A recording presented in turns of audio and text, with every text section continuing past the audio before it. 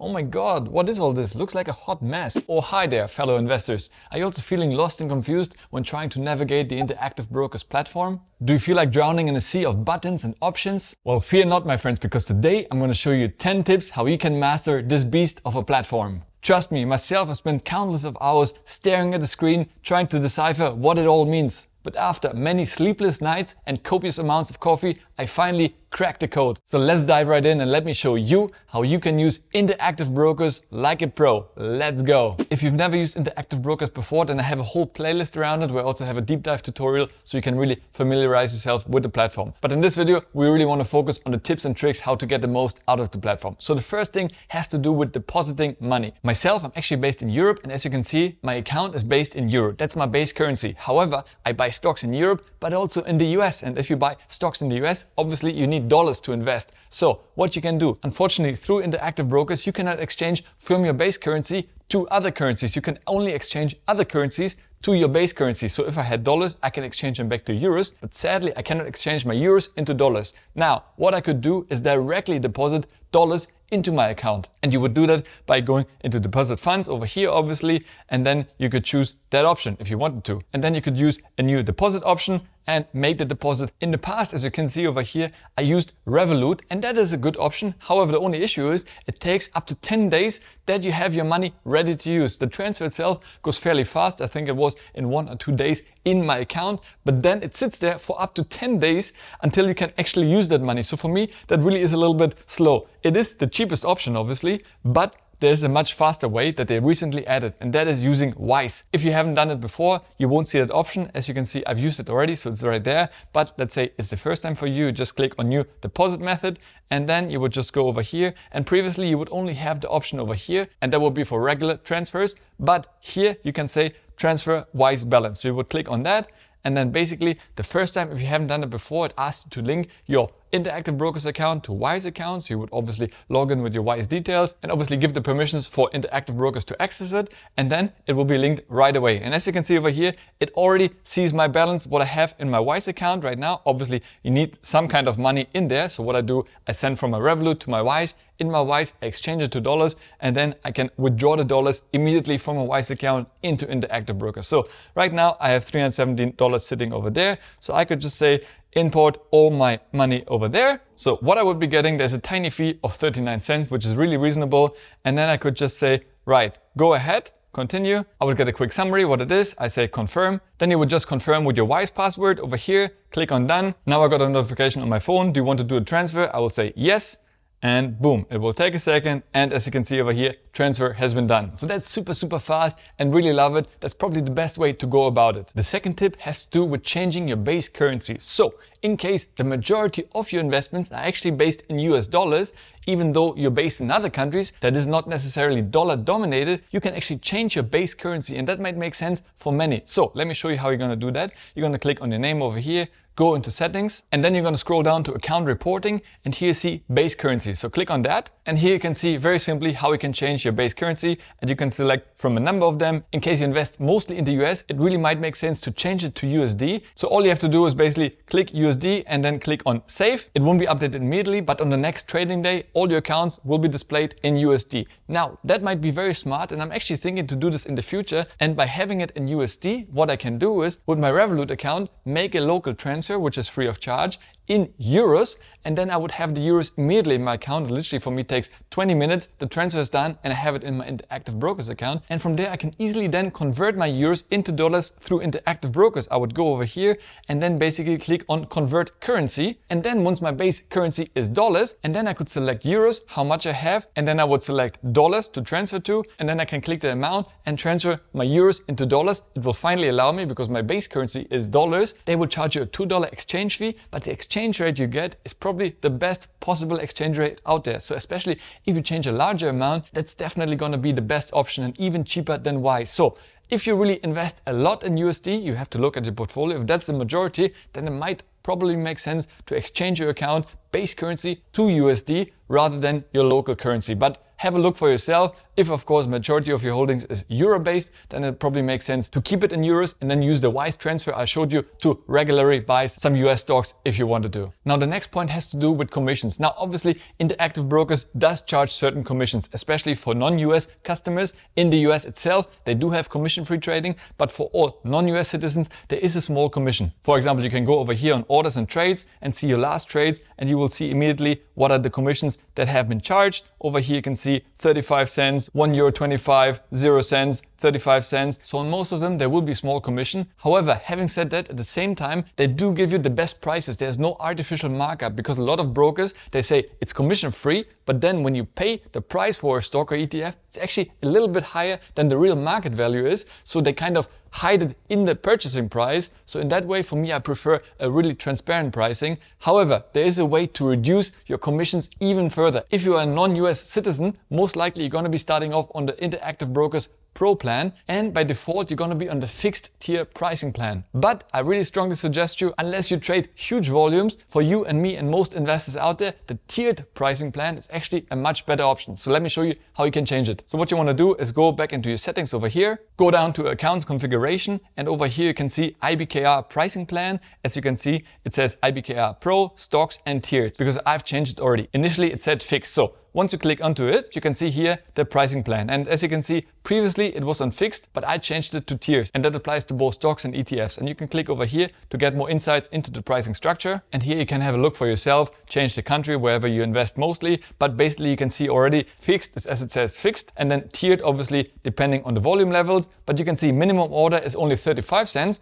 versus with the fixed, it always will be $1. So for me, you know, if I trade more often but smaller positions, that already helps. And then you can obviously go down and have a look at different countries. But honestly, in my case, going to tiered definitely saved me a lot of commissions. The next one is not an actual tip, but a little bonus I still want to throw in because some people ask me, but Kai, when I log in the first time, all my screen is white. And for me, I always prefer dark mode. So what you can do is very easy. You click once again on your name over here, and then you can click from light. You can change it back to light if you wanted to, prefer that or as I always like it, dark. So that's really easy. And you know, it's just easy to do and you can do the same on the various apps they have. The next tip has to do with customizing the way your portfolio is shown. So when you click into portfolio over here, this is not how it looks the first time. Most likely you're going to have more space between it and you can easily click between those two buttons to change the spacing. I prefer to have it compact because as I'm going to own more shares, this list is going to be longer. So I can easily see what's happening there with my portfolio. And then from here, you can also customize your columns. So you can just click on the three dots over here and then click on added columns. And from here, you can very easily add or remove certain positions because that's not the way it looks in the beginning. For example, most likely in the beginning you will have daily changes. And for me, I don't want to see daily changes in my portfolio. Quite often in a bear market, it's red. And I'm a long-term investor, so I don't need to see daily moves. I just want to see long-term portfolio development. One thing I've added myself, which previously you didn't see easily, was the dividend yield. Because I'm a dividend growth investor, so for me, seeing the dividend of my stock is very important. And you can just go over here, search all columns, and then for example, you would see dividend, click it, and then you will see all the measures that you can see in your column related to dividends. So you can click whatever you want to see over here. I a dividend yield. You can also see the actual dividend score. You would just click the plus and then will be added. So have a look around whatever suits you the most. From here you can also change the order by dragging them around. That's how I've set it up and I'll run you through in a second why I have it set that way. So basically firstly obviously I have my instrument, all my holdings and then I sort them by market value. So this is the value that currently my stocks or ETFs are worth. So at the moment you can see my biggest one is the VUSA ETF and you can change the order by clicking this arrow over here. So you have the smallest holding at the top, but for me it makes sense to have the biggest holding at the top. So I have it sorted by that. Then I can see the cost basis, how much I paid for it versus how much it's worth it right now. So obviously for most of them, I've paid more than the stocks dropped. And obviously that's the difference. That's the unrealized P&L. If I was to sell that stock or ETF today, I would be basically losing 1000 euros in this particular example. I currently have a dividend yield on all of them except for one stock, which is Google. So that's also good immediately. You can see how much dividend yield yield I get. If you're dividend growth investors, obviously going forward, I will be investing more in some that have a bigger yield and bigger growth potential and less in some that don't have yield, for example. Then I can see the positions. That's basically the amount of shares I own in the stock or ETF. Then you can see here the last price and the average price. That's the average price you paid over the various times. So it kind of averages out the price. And obviously, ideally, it should be lower than the current last price. And lastly, that's the percentage of my holdings relative to my total holdings. So right now you can see I have the majority of my holdings in the VUSA ETF, that's 62%. That's also good to see, you know, are you over leveraged in one stock or ETF and maybe you want to balance it more going forward. Next up, let's talk about how you can customize your charting because honestly, the first time I saw the charts, it was a little bit overwhelming. So let's click into Coca-Cola, one of my favorite dividend growth stocks. And then obviously this is how I've set my chart up. But the first time we log in, it might be looking a little bit more overwhelming and it's very easy actually to customize. So you can see over here immediately to be honest, I prefer having a simple line. Now, a lot of you might prefer candles, but as I'm not day trading or swing trading, you know, I'm buy and hold. So for me, I just want to see overall trend of a stock. So that's why I prefer a simple, nice line and then it just makes things so much easier to look at. You can change also the interval over here, how many seconds, but usually I have it for a week. And then obviously also at the beginning, when I look at something, I keep it at five year because I want to see the long-term trend of a particular stock. And then you can add some more indicators if you want different averages, etc. Uh, but I don't have it. The only thing I have down here is the volume, how the volume changes over time, more people buying, less people buying. So that's really good. And then you can change some more settings over here, chart settings. For example, if you want to change the color of the line, I quite like this color. So I could change it to that. I could have yellow, whatever you want, whatever is easier on your eye, you can change it. The thickness of the line, but I'm happy with that. You can have the last price displayed or not. You can see how immediately it's switched on or off. So that's up to you. You can go into the status line over here and add a few more and just play around with it. And then you have the scale line over here. For example, I could have the label displayed, but you know, obviously I don't need it. So just like it, the cleaner for me, the better. I just want to focus on the overall trend and direction of the stock price. Plus button, for example, I don't need, so I could remove that. And I like to remove this indicator value labels. You can see immediately the graph is expanded a little bit more. And from here, you could obviously also save your snapshots. So you just go over here and I would call it Kai's snapshot, save, and boom, I would have that saved for the future. Right, the next one has to do with the mobile apps. And actually not many people know that they have three mobile apps available. So in fact, the most common one is the Interactive Brokers. That's probably the most complete and the one that actually resembles the online platform the most. So he can do pretty much everything you can do on your web portal online. So that's really the most complete app but at the same time also most overwhelming, I think, because yeah, it can be really quite intimidating at first. So then what I always recommend and probably use myself mostly is the global trader apps. So as you can see, immediately it looks much cleaner. If I go into my portfolio over here, you can see all the holdings with the name. It is just easier to see on the eye. If I go into Apple, for example, you know, a much simpler chart and it's just, you know, more user friendly like Lightyear, Freetrade, Revolut Trading. So obviously a much better option if you're just starting off and have basic needs. You know, you don't want to have too many complicated things. You want to see the stock price. You want to place a buy order. Very simple to do. And yeah, I just definitely prefer that for everyday use and just to check on my portfolio. And lastly, there's also the Impact app. So this is actually very similar to the Global Trader app, but it integrates the impact ESG score of your portfolio. How is your investing going in line with your values as an investor? So impact is really the forefront. You can see immediately the impact score. If you click in the portfolio, it looks very similar like Global Trader, but you see the addition everywhere of your impact score. So the impact is very much highlighted over here because a lot of investors are very much conscious of the impact on their investments. If I go into here, I have all the details of what Apple is doing, where potential issues are with my values versus their practices as a company. So if that's important for you, then probably that would be your best bet. For myself, I use Global Trader mostly. Also, I use that app in order to log into the web portal because whenever I log in, I get a push notification on my phone and I confirm it over here with my Face ID and then it lets me log in online. One more tip I want to show you is changing the default purchasing quantity because the first time when you log in and you want to buy a share or ETF, it usually offers you to buy 100 shares of something. And for example, recently I bought BlackRock and that's around $800 per share. So times 100, you can imagine that's really expensive. So obviously I could just easily change it, but why not to have your default immediately set as you wanted to? And funnily enough, you cannot do this online. You can only do this through the IBKR app. So let's open it up and log in over here. And then what you want to do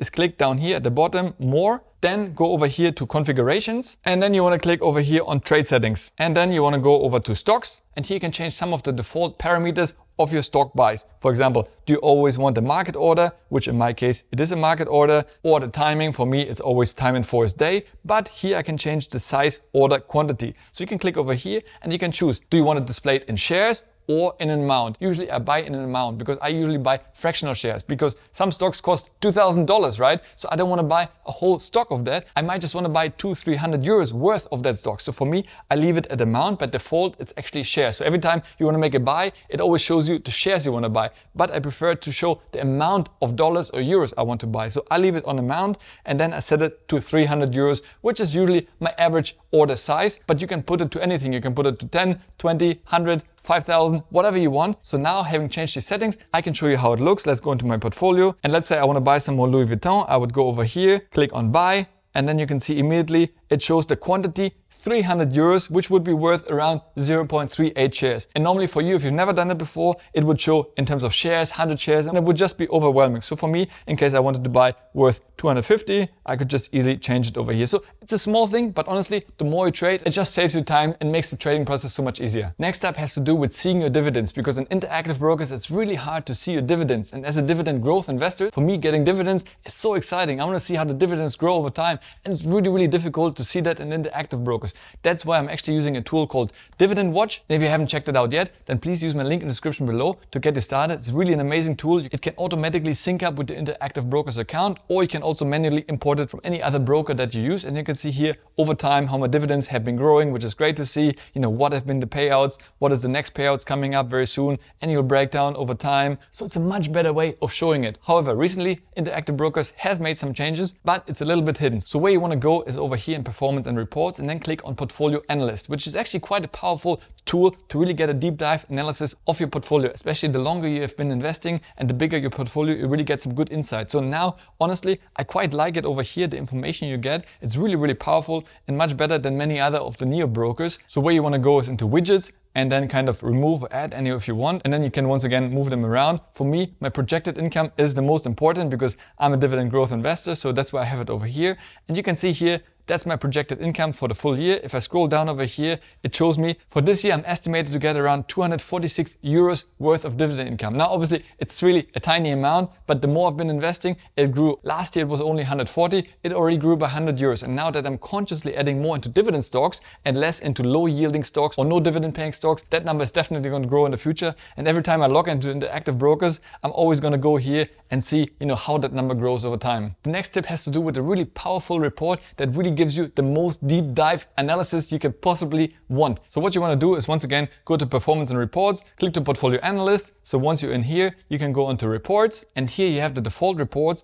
and then you want to click since inception. That's basically any trades and activity from the very first day you opened your interactive brokers account. Then you want to click on detailed PDF and it will download, take a second, and boom, you really have the most possible deep dive you could have about your portfolio. I mean, it's 33 pages of deep dive analysis into your portfolio, various reports, income projections, etc. I mean, it's really, really powerful. I mean, one day just take the time and really go through it, and it's actually really insightful. I learned quite a bit of things, especially what is in my ETF included, etc. So really, really good. And on one of the last pages, you can see over here a bit more insights about your projected income or your dividends. Once again, you can see over here estimated income for 2023 246 and remaining 235 because the balance I've been already paid out for. You can see here by which months you get what revenue from which particular stock, what kind of dividend it is. So it's really, really a powerful graph. Obviously, you're not going to read that every single week, but if you wanted to, you can have it automated over here, reports delivery. You can click on it, select the report you want to have, let's say since inception, and then it can send you every single month that full report into your email right away. So you don't even have to go here to download it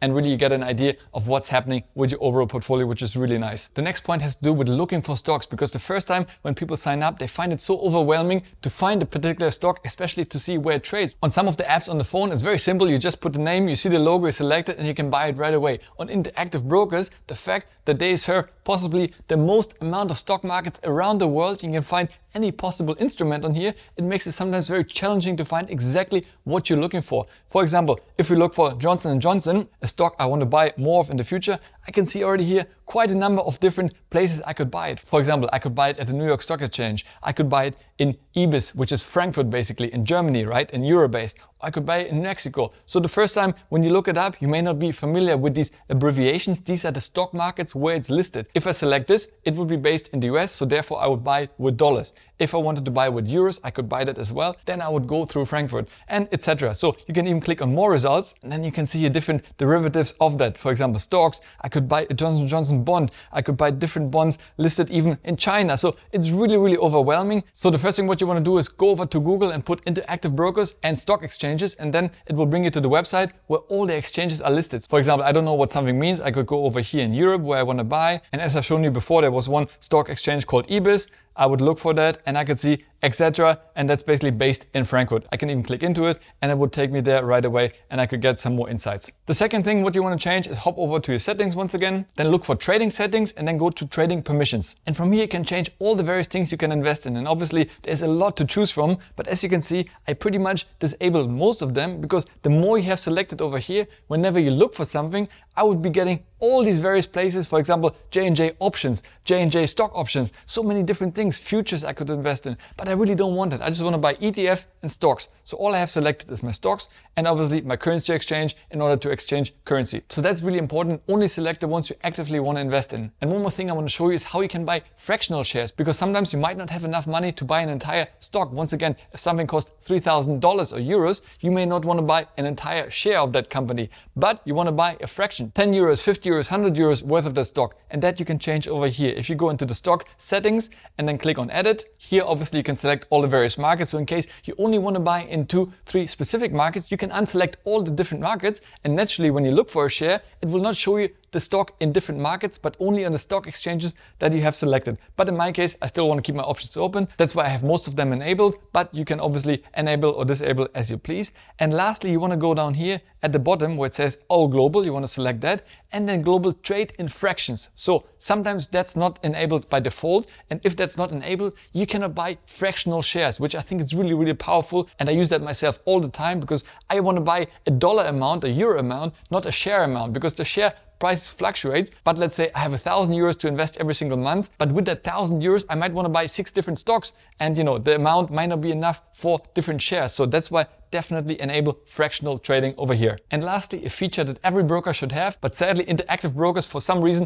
didn't have it for many, many years, but now they finally added it. And that's having automated buys in place. So basically you set it and forget it. You basically select the stock you want to buy, the amount you want to buy of, and then every day, week or month, it automatically buys it without you having to log in. You just want to make sure you have enough money in your account and then Interactive Brokers will automatically trigger and execute that order for you. And that's very easy to do. You're just going to click over here and trade and then you're going to click on recurrent investments. And from here you can see any recurrent investments you have in place. I don't have it myself because, you know, I like to do it myself manually, but in case you want to have that set it and forget it option, you would click on create recurrent investments. And then basically you just have to select which stock you want to buy. So let's say I want to buy Coca-Cola. So I would put Co over here and then just click on search and I will pull up the different options where I can buy it from. It shows me the currencies over here, but obviously I want to buy the original listed in the New York Stock Exchange in dollars. Fine, I select that. And then I can select the amount over here. So let's say I want to buy every week, $100 worth of Coca-Cola stock. And then you have to select the interval. So you can choose here either daily, weekly, bi-weekly, monthly, quarterly, what have you.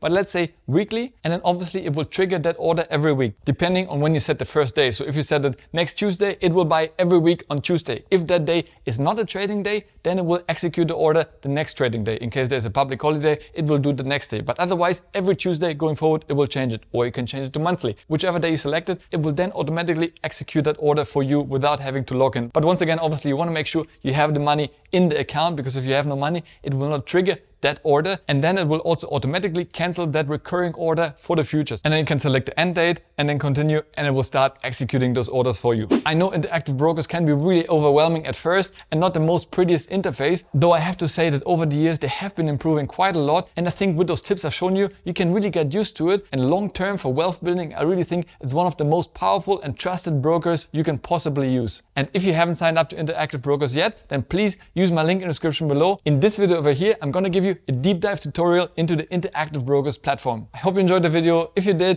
please give it a like, subscribe to the channel, it means the world to me. As always, thanks a lot for watching, stay healthy, get wealthy, and I see you in the next one. Ciao!